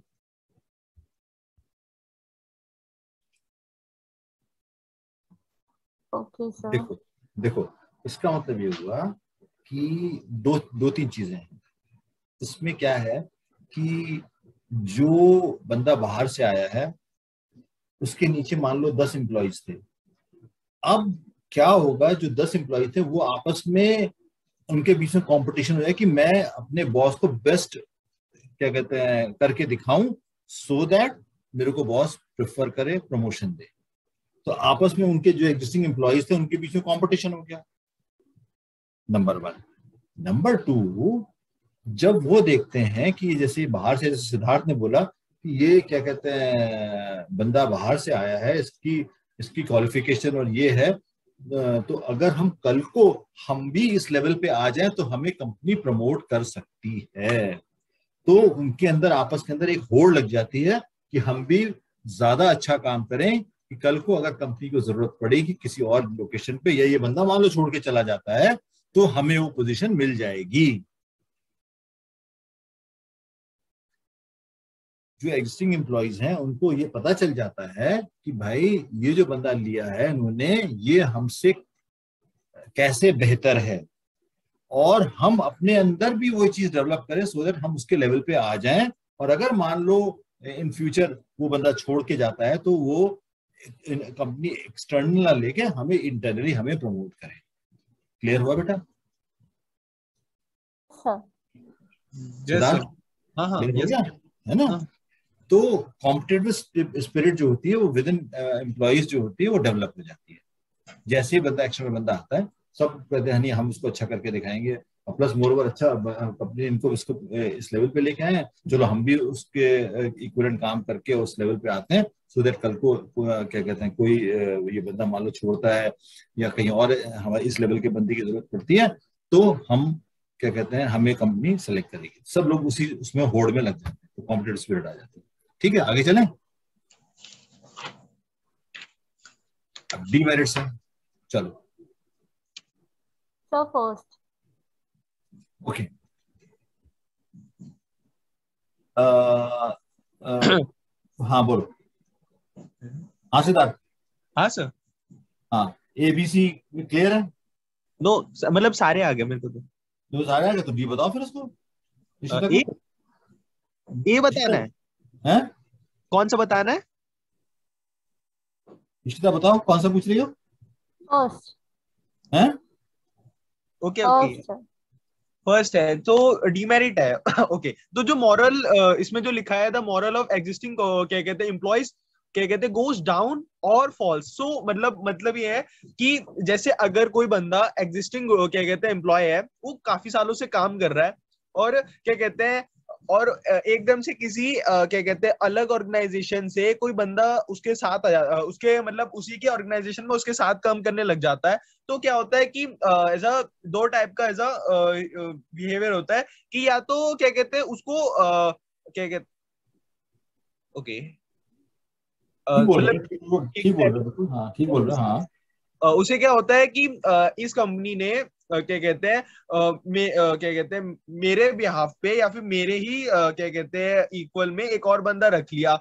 सो क्या कहते हैं एज अ मोरल डाउन होता है कि शायद इस वो इम्प्लॉय ऐसा सोचता है कि शायद इस कंपनी को जो मैं वर्क कर रहा हूँ, ये फुलफिल नहीं हो पा रहा है इसलिए अलग इसको इसको क्या कहते हैं एज अ स्टाफ या एम्प्लॉय हायर करना पड़ रहा है अलग से। और बाद में फिर अलग भी चीज़ें होती है, जैसे इन दोनों का कोऑर्डिनेशन नहीं बन रहा, ठीक है? या फिर जो बाहर से एम्प्लॉय रखा है या फिर इनका एज अ ये एडजस्ट नहीं हो पा रहे एकदम से एज अ कंफर्टेबल नहीं है एक साथ एक दूसरे के तो फिर वर्किंग में मोरल डाउन होता है और जो ऑर्गेनाइजेशन गोल है वो एज अ एडिकेट तरीके से नहीं अचीव हो पाता। हाँ ठीक है। काफ़ी कुछ ठीक बताया। इसमें बेटा दो चीज़ें होती हैं कि जो बंदा पाँच साल से काम कर रहा है वो एक्सपेक्ट कर रहा है प्रमोशन का। हाँ। और पता चला उसके ऊपर किसी और एक्शनल बंदे को लिया है बट सब प्रमोशन और बंदे को लाना तो अलग चीज़ हो गई। वही है ना कि ऊपर ऊपर जो है उसके ऊपर किसी उसके कोई उसको एक्सटर्नल बाहर से बंदा लिया है जिसको कि ये रिपोर्ट करेगा। तो उसका मॉरल डाउन हो गया ना भैया पाँच साल से तो मैं काम कर रहा था मैं बड़ी मेहनत कर रहा था कि मेरे को मैनेजर लेवल मिले और अभी क्या कि जब मेरे मैनेजर लेवल के बंदे की बारी आई तो आपने बाहर से किसी बंदे को उठा लिया जिसको कि मैं रिपोर्ट करूँगा। है ना? इशिता बेटा समझे? यस सर तो उसका मॉरल डाउन होगा नहीं होगा?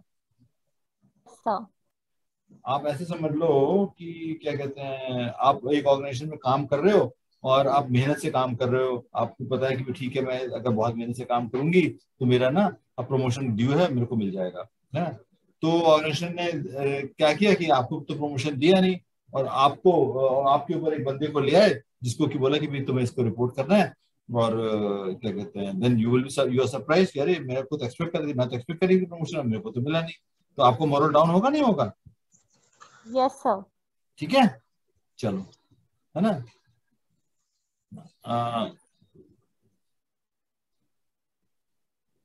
अच्छा ये देखो ना एक सेकंड वाला point new new new employee जो है वो हो सकता है एडजस्ट ना पा हो पाए तो फिर टर्नओवर ज़्यादा पड़ेगा chance of turnover turnover मतलब कि वो बंदा छोड़ के चला जाएगा तो फिर दूसरा बंदा उनको लेना पड़ेगा।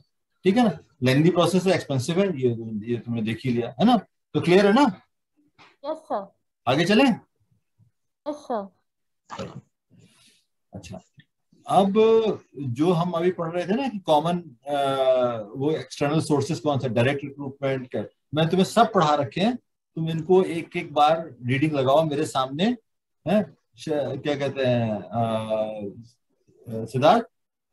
हाँ हाँ यस बेटा पहले रीडिंग रीडिंग लगाओ तुम ज़ोर ज़ोर से okay direct recruitment so direct recruitment something नहीं sometimes sometimes the organisation pass notice at the gate of other office और फैक्ट्री और ये क्या लिखा है सर वर्क हाँ। Stating the uh, the people who are in walk in uh, vacant job position the people who are interested in the jobs in those jobs walk in for interviews this method of external recruitment is most uh, suitable for unskilled job position example shopkeeper और ये क्या नहीं पता नहीं peons etcetera अच्छा अब देखो थोड़ा सा चेंज है इसके अंदर डायरेक्ट रिक्रूटमेंट वो इसलिए वो ये कह रहा है कि जैसे कि वो जो, वो बंदे होते हैं जो कि आपको अनस्किल्ड चाहिए, है ना? जैसे मैंने एक, तुम्हें एग्जांपल दिया था लेबर कॉन्ट्रैक्टर का, ठीक है? है ना? तो वो तो लेबर कॉन्ट्रैक्टर से आप बात करते हो और अपनी लेबर ले लेते हो।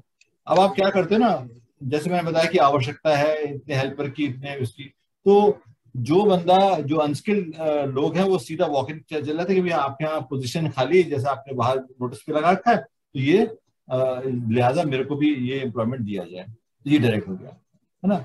एक जो क्या कहते हैं, मैंने जो तुम्हें बताया था, वो वो एक तरीके से रिकमेंडेशन वाला था, वो शायद आगे आएगा, जिसमें कि इंटरनल रिकमेंडेशन चलती है कि आपको एक मिनट देखो ज़ीरो सॉरी जो मैंने तुम्हें बताया था ना बेटा पहले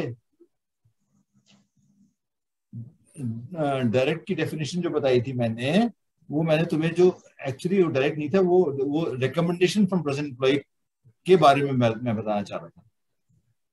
बेटा याद आया? मैं तुम इससे इससे पहले तुम लोग को जब बता रहा था पहले डायरेक्ट रिक्रूटमेंट के बारे में बताया था वो actually recommendation from present employees के बारे में। ठीक है? तो ये जो सात मेथड हैं है ये यूज़ करते हैं रिक्रूटमेंट के लिए। Casual callers Ishita? Yes sir हाँ बताओ कैजुअल कॉलर्स क्या होते हैं?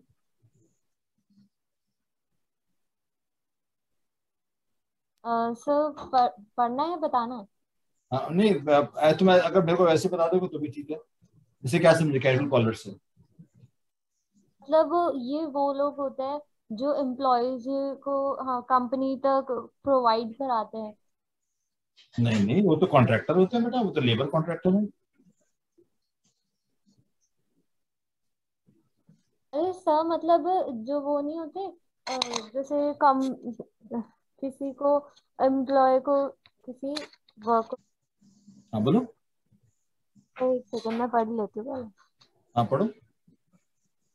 कॉलेज ने बताया कि ऑर्गेनाइजेशन के पास अपनी एक एप्लीकेशन फ़ाइल होती है, जिसमें जो भी जो लोग जॉब ढूंढ रहे हैं, उनके बारे में उनकी सारी डिटेल्स वगैरह होते हैं। तो जब भी उस ऑर्गेनाइजेशन में वैकेंसीज वैकेंसीज वगैरह निकलती है तो वो उन जो कैंडिडेट्स हैं, उनको कॉल करके फिर जॉब के लिए अपॉइंट करते हैं। हाँ ठीक कह रही हो। मतलब जैसे ऐसा ना घूमते फिरते लोग पहुँच जाते हैं। मतलब नोटिस वोटिस नहीं भी लगा है। वो एक तो नोटिस लगा था तो ठीक है। अब नोटिस नहीं लगा है बंदा कहता है चलो मैं ट्राई कर लेता हूँ। शायद मिल जाए मेरे को जॉब है ना? तो वो जाता है कहता जी मेरी एप्लीकेशन रख लो और आपको जब मेरे स्किल मेरे लायक कोई काम हो तो मेरे को कॉल कर लेना। है ना? इसको बोलते casual caller media advertisement employment exchange और प्लेसमेंट एजेंसीज है ना? इनमें किसी इसमें इसमें से किस कुछ कुछ समझने वाली बात है तो मैं समझा देता हूँ। सही है एक्सचेंजेस का क्या मतलब है? एम्प्लॉयमेंट एक्सचेंजेस सिर्फ़ एक्सचेंजेस का। हाँ ठीक है ये बताता हूँ। Ishita? Yes sir employment exchange का मतलब पता है? No sir okay. क्या होता था कि गवर्नमेंट ने क्या किया था कि भाई लोगों को नौकरी मिले तो वो कहते थे गवर्नमेंट गवर्नमेंट कहती थी कि हमने ना सेंटर्स बना रखे हैं। हम उनको एम्प्लॉयमेंट एक्सचेंज बोलते हैं। पहले ये बहुत ज़्यादा चलते थे। ये एक्सचेंजेस वो होते थे जिसमें कि सपोज़ करो मेरे को जॉब चाहिए तो मैं वहाँ जाके अपना रजिस्ट्रेशन करा देता था कि जी किसी भी गवर्नमेंट डिपार्टमेंट में अगर मेरे क्वालिफिकेशन एक्सपीरियंस के बेस के ऊपर अगर कोई जॉब है तो मेरे को इतला कर लीजिए, मेरे को मेरे को इन्फॉर्म कर और उसी डिपार्टमेंट में एम्प्लॉयमेंट एक्सचेंज की डिपार्टमेंट में ही जो डिपार्ट जो अलग अलग गवर्नमेंट की के डिपार्टमेंट्स थे और जो कंपनियाँ थी, कह लो, या जो जो भी उनके गवर्नमेंट की मशीनरी थी, या जो भी उनके वो थे, वो अपनी रिक्वायरमेंट एम्प्लॉयमेंट एक्सचेंज के बाद भेजते थे। कि जी ऐसा है, हमारे, हमें यहाँ पे पाँच क्लरिकल लेवल की पोस्ट खाली है इस डिपार्टमेंट में। आप, हमारी ये ये मिनिस्ट्री ऑफ़ सिविल एविएशन है, यहाँ पे ये जो फाइनेंस मिनिस्ट्री वाला कह देता था कि मेरे को दस क्या कहते हैं चार्टर्ड अकाउंटेंट चाहिए। स्टील अथॉरिटी ऑफ़ इंडिया जो कि सरकार की ऑर्गेनाइजेशन थी, उसने कह दिया मेरे को तो पाँच प्रोडक्शन मैनेजर चाहिए। है? ये इस तरीके से हर जो गवर्नमेंट की एजेंसी जो सॉरी जो गवर्नमेंट की कंपनीज़ होती थी या उनके डिपार्टमेंट्स होते थे या वो अपनी रिक्वायरमेंट जो है, वो एम्प्लॉयमेंट एक्सचेंज पे भेजते थे। और इधर जो है, जो बंदा अपने आप का रजिस्ट्रेशन कराता था कि भाई इसमें कोई अगर अगर मेरे मेरे लायक कोई काम हो तो मेरे को इन्फॉर्म कर देना। तो जो एक्सचेंज वाले करते थे, देखते थे अच्छा ये रिक्वायरमेंट आई है अच्छा हाँ ये पाँच बंदे जो है, ये क्वालिफाई हो गए तो उन पाँच बंदों को वो इन्फॉर्म करते थे कि, भाई, इस डिपार्टमेंट में इसकी ये पोजीशन खाली है, तुम जाके क्या कहते हैं मैंने तुम लोग का सीवी फॉरवर्ड कर दिया है, और डायरेक्टली वो डिपार्टमेंट तुमसे कॉन्टेक्ट करेंगे। तो इनको बोलते थे एम्प्लॉयमेंट एक्सचेंज अब तो खैर इतने कम हो गए पर पहले बहुत होते थे। समझ में आया बेटा? सिद्धार्थ? नो सर अच्छा ठीक है। देखो ऐसा था कि जो सरकार थी उसने कहा कि भाई ठीक है लोग पढ़ रहे हैं काफ़ी हैं? और कोई लोग क्या कहते हैं बाहर मार्केट में भी प्राइवेट ऑर्गेनाइजेशन में भी जॉब कर रहे हैं ऑल दैट ठीक है? अब कुछ लोगों को कहा कि हमें सरकारी नौकरी करनी है। ठीक है? तो सरकारी नौकरी करने के लिए क्या है कि आप हर डिपार्टमेंट में तो पूछोगे नहीं कि भाई मेरे मेरे लायक कोई काम हो तो बताओ या मैं क्या कहते हैं मेरे मैं ऐसा काम चाहिए जो मेरे को जिसमें कि मैं क्वालिफाई कर पाऊँ वो, वो क्या कहते हैं मेरी क्वालिफिकेशन मेरा एक्सपीरियंस मैच करे। तो वो बंदा अपना रजिस्ट्रेशन करा देता है एम्प्लॉयमेंट एक्सचेंज के अंदर।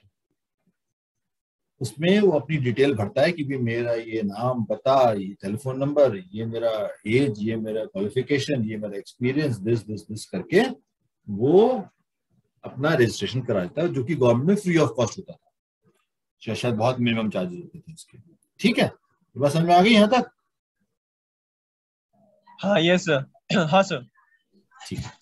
अब एक जो दूसरी तरफ़ जो सरकारी कंपनियाँ हैं या दफ्तर हैं, जो सरकारी दफ्तरों में रिक्वायरमेंट होती थी, है ना?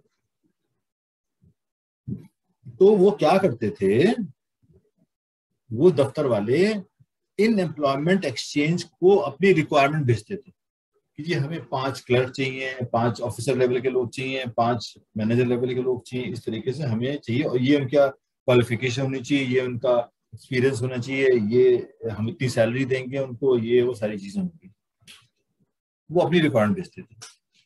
जो एम्प्लॉयमेंट एक्सचेंज वाले लोग थे, वो रिक्वायरमेंट को रखते थे और साथ में जिन जिन्होंने अप्लाई किया था रजिस्ट्रेशन कराया था, उनको देखते थे।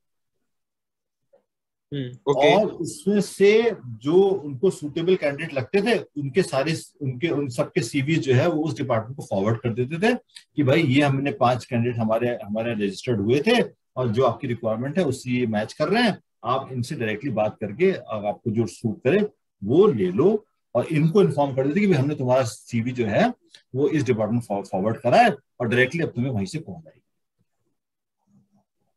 उस डिपार्टमेंट का एम्प्लॉय एम्प्लॉयमेंट एक्सचेंज का काम क्या था? कि जो अनएम्प्लॉयड थे और जहाँ रिक्वायरमेंट थी उनको मिला देना। ओके समझ में आया? दोबारा हम्म। बताऊँ? दोबारा बताऊँ? हैं? आ गया ठीक है। इशिता? यस सर आ गया ना? समझ में? ठीक है चलो। अब placement agencies and management consultants है ना? ये बहुत ज़्यादा पॉपुलर हुए प्राइवेट ऑर्गेनाइजेशन को लेके। जो प्राइवेट ऑर्गेनाइजेशन होते थे, वो क्या करते थे, अपनी रिक्वायरमेंट प्लेसमेंट एजेंसीज को देते थे। अब क्या किया ऑर्गेनाइजेशन बड़ी बड़ी ऑर्गेनाइजेशन ने उन्होंने कहा जी ऐसा है, हमारे पास तो इतना जब हम कोई जॉब निकालते हैं तो हमारे पास तो बहुत सारे सीवीज आ जाते हैं। हमारे लिए बड़ा मुश्किल होता है उसमें से कुछ लोग ऐसे भी अप्लाई करते चाहे उनको वो क्वालिफिकेशन हो ना हो कहते चलो अप्लाई कर देते हैं, देखते हैं, हो सकता है तुक्का लग जाए. तो जिस तरीके से एम्प्लॉयमेंट एक्सचेंज में लोगों ने अपने रजिस्ट्रेशन करा रखे थे, उसी तरीके से इन इन प्लेसमेंट एजेंसीज और मैनेजमेंट कंसल्टेंट्स में जो होते हैं, उनके यहाँ भी, उनकी कंपनी में भी लोगों ने रजिस्ट्रेशन करा रखे होते हैं। सपोज़ करो, मैं रेनबैक्सी कंपनी में काम करता था करता हूँ, और मेरे को सपोज़ करो एक मैनेजर लेवल पे मैं काम कर रहा हूँ, अब मैं यहाँ देख रहा हूँ कि भाई, मेरे को पाँच साल हो गए प्रमोशन नहीं हुआ है आई डिजर्व प्रमोशन और मैंने बहुत सारा काम किया कंपनी को कंपनी मेरे को क्या कहते हैं, वो नहीं कर रही है रिकॉग्नाइज नहीं करी मेरे वर्क को तो लिहाजा मेरे को जॉब चेंज करनी है तो मैं एक प्लेसमेंट एजेंसी के पास जाता हूँ कि भाई देखो ऐसा है कि मैं मेरे पास ये क्वालिफिकेशन है ये एक्सपीरियंस है ये मैं ये चीज़ें कर सकता हूँ और अपना एक सीवी दे के चला आता हूँ। वो मेरे प्लेसमेंट एजेंसी वाला मेरे से बात करता है अंडरस्टैंड करता है कि हाँ ये बंदा किस लेवल का है? जो उसने इसमें लिखा है उसकी पर्सनैलिटी कैसी है उसको वो अपने हिसाब से उसको वैल्यूएट करता है। ठीक है? ये बात यहाँ तक बात समझ में आ गई? यस सर अब क्या कहते हैं सपोज़ करो सन फार्मा करके कंपनी है, जो जिसको कि एक क्वालिफाइड बंदा चाहिए, जिसको कि पाँच, चार, पाँच साल का एक्सपीरियंस हो और इसमें क्या कहते हैं प्रोडक्शन में काम करा उसने और ये सब, ये सारी चीज़ें उसने उसको, उनको चाहिए। तो जो प्लेसमेंट एजेंसी है, वो कहता है, यार, ये जो कैंडिडेट जो रैनबैक्सी से आया था, ये बड़ा फिट लग रहा है मेरे को, यहाँ पे इसको मैं इसका सीवी इनके पास फॉरवर्ड कर देता हूँ तो ये उसमें से उसको सेलेक्ट कर लेंगे। अगर उनको सूट करेगा तो उसको इंटरव्यू कॉल कर तो इस तरीके से प्लेसमेंट एजेंसीज और और क्या कहते हैं मैनेजमेंट कंसल्टेंट पूरे नेशन वाइड में इनके, क्या कहते हैं डेवलप हो गए। कैसे डेवलप हो गए? कि भाई मैंने एक एजेंसी खोल ली और मैंने कहा जी, आपको रिक्वायरमेंट हम मैं अच्छी अच्छी कैंडिडेट देता हूँ आपको। मेरा कमीशन होगा कि एक मंथ की सैलरी मैं आपको एज ए कमीशन चार्ज करूँगा। ऑर्गेनाइजेशन सोचती थी कि यार इतना क्या कहते हैं, हम इतने सीवी मंगवाएँगे, सबको पढ़ेंगे क्या कहते हैं टाइम लगेगा, फिर उसमें से कैंडिडेट्स को बुलाना, करना, बहुत लंबा काम है। उन्होंने अपनी रिक्वायरमेंट प्लेसमेंट एजेंसीज को दी उन्होंने उसको उनके जो शॉर्ट लिस्टेड सीवीज थे बढ़िया बढ़िया दस दे दिए उन्होंने दस में से उन्होंने देख ली कि हाँ इसमें से ये ठीक है और उन्होंने उनको इंटरव्यू के लिए बुलाया और सिलेक्ट कर लिया। ठीक है? तो एक तरीके से ये प्राइवेट एम्प्लॉयमेंट एक्सचेंज की तरह काम कर रहा है। फ़र्क इतना है कि जो गवर्नमेंट का एक्सचेंज होता था वो बहुत ज़्यादा कैंडिडेट को इंटरव्यू नहीं करता था, समझता नहीं था कि ये किस लेवल का कैंडिडेट होता, जो उसने हाथ में, जो उसने उसने उसमें बायोडाटा में लिख के दे दिया, वही वो फॉरवर्ड कर देता तो वो कुछ नहीं करता था वेर एज ये लोग जो होते हैं प्लेसमेंट एजेंसी वाले, ये कैंडिडेट को बुलाते हैं उससे पूछते हैं और वो, ये रिलेट कर लेते हैं कि इस कैंडिडेट का क्या लेवल है, ये कहाँ पे फिट हो सकता है, ये छोटी कंपनी में जाएगा या नहीं जाएगा, ये बड़ी कंपनी में ही जाएगा या बड़ी कंपनी में ये फिट ही नहीं होता, ये छोटी कंपनी फिट हो जाएगा। इस तरीके से। तो ये उनका एक जजमेंट होता है और इसकी, इसी वजह से उनका सक्सेस रेट बहुत होता है। मतलब ये हुआ कि जो वो सीवीज देते हैं, उनमें से जो जो जो दूसरी कंपनी को सीवी दी उन्होंने, उनमें से वो उनको, उनका डिजायर्ड कैंडिडेट मिल ही जाता है। क्यों? क्योंकि उसने फ़र्स्ट लेवल स्क्रीनिंग कैंडिडेट की कर ली है। उसको ये पता है कि इस तरह इस ऐसा नहीं है कि वो क्या कहते हैं मतलब अगर अगर वो अगर वो एजेंसी का हेल्प नहीं लेंगे तो बहुत सारे लोग आ जाएँगे फिर वो जो स्क्रीनिंग करनी है वो उनको करनी पड़ेगी। वो बहुत टाइम कंज्यूमिंग प्रोसेस होगा। हम्म, बेटा इसका मतलब समझ रहे हो? हाँ हाँ ये सर इशिता? यस सर समझ रही हूँ। ठीक है गुड है ना? कैंपस रिक्रूटमेंट एंड रिकमेंडेशन वही दोनों चीज़ें बड़ा सिंपल सा था मैंने बता दिया तुम्हें। Recommendation from present employees campus दोनों दोनों बड़ा सिंपल से है। ठीक है? क्लियर हुआ? हम्म यस सर इसी आगे बढ़े। यस सर चलो। ये लेबर कॉन्ट्रैक्टर तुम बता रही थी अभी है ना? Advertising on television web publishing Naukri dot com देखो मैंने तुम्हें बता रहा था नौकरी डॉट कॉम ये देखा है ना इसमें ये देखो। ये। मॉन्स्टर डॉट कॉम ये वो बहुत सारी है। फैक्ट्री गेट का मैंने तो एग्ज़ाम्पल ले दिया तुम्हें। ठीक है? सर आगे चलें? ये factory gate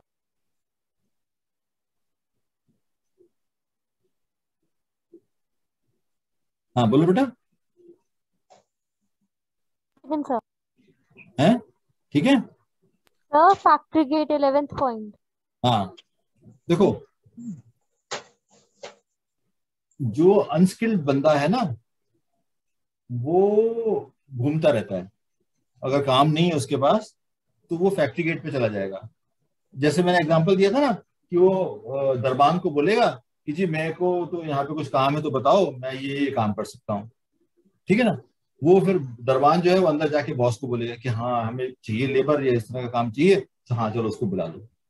Sometimes number of job seeker inquire at the factory gate about the vacant position in the workshop और in the factory during the severe employment time जब बहुत ज़्यादा अनएम्प्लॉयमेंट था time many job seeker assemble at the factory gate to offer their services in the factory. This type of external recruitment is also suitable for unskilled employees and अब देखो एक ए, तुमने इससे पहले आ, क्या कहते हैं ये पढ़ा था सॉरी क्या कहते हैं कैजुअल कॉलर्स और डायरेक्ट रिक्रूटमेंट ये तीनों में फ़र्क है डायरेक्ट रिक्रूटमेंट में क्या होता है कि पेस ऑर्गेनाइजेशन एक नोटिस बोर्ड लगाती है। ठीक है? कैजुअल कॉलर्स में क्या होता है कैजुअल कॉलर कभी जॉब है दे दो हमें। अगर जॉब है तो हम अपना सीवी छोड़ के जा रहे हैं और अगर जब जॉब जॉब निकलेगी तो हमें हमें बुला लेना। ठीक है? यस सर और जो तुम्हारा क्या कहते हैं फैक्ट्री गेट है ये ऐसे ही है भाई चलते फिरते लोग जो है आ गए। उन्होंने कहा कि हमें अगर आपके यहाँ ज़रूरत है तो हम आपको आ, आपको लेबर की ज़रूरत हम चलो आपको आ, हम हम लेबर आपके यहाँ काम करने को तैयार हैं। बड़े नहीं समझ में आ रहा है मैं दोबारा बता दूँगा मेरे को कोई प्रॉब्लम नहीं है बट तुमको समझ में आना चाहिए। अगर कंफ्यूजन है तो मेरे से पूछ लो बड़े आराम से। कोई हेजिटेशन नहीं होना चाहिए कोई कुछ नहीं होना चाहिए। फिर से बता दू?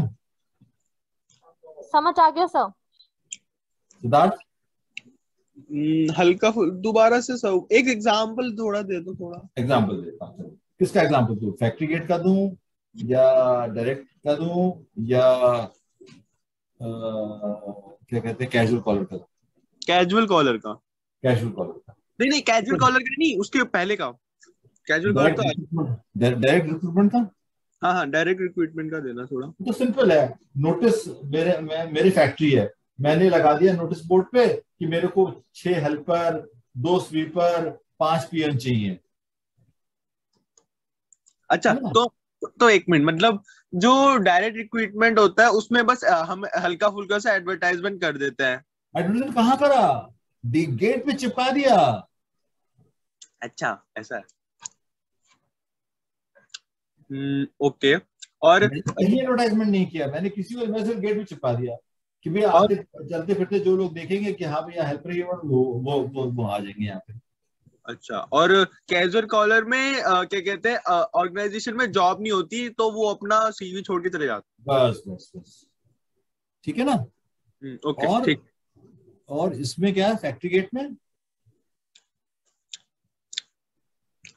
फैक्ट्री गेट में इसमें कि जैसे कि जो भी जिनको जॉब की ज़रूरत होती है वो हम्म। आ जाते हैं मतलब जॉब पोजीशन के लिए ढूंढते हम्म।